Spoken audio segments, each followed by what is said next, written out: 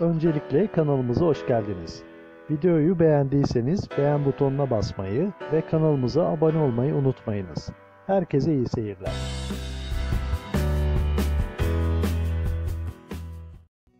Ütünün icadı 17. yüzyıl başlarına kadar dayanmaktadır.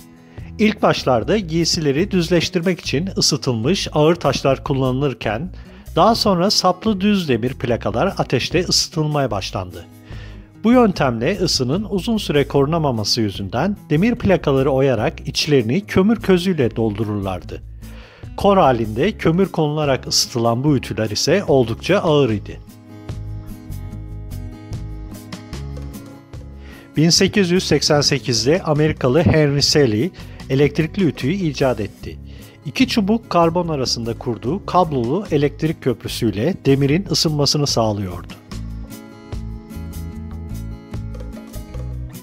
Ütüleme ayrıca elbise parazitlerini öldürerek hijyen sağlama operasyonunda da kullanılır.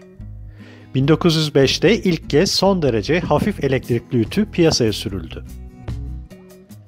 Kanalımızı beğendiyseniz abone olmayı unutmayınız. Şimdiden herkese teşekkürler.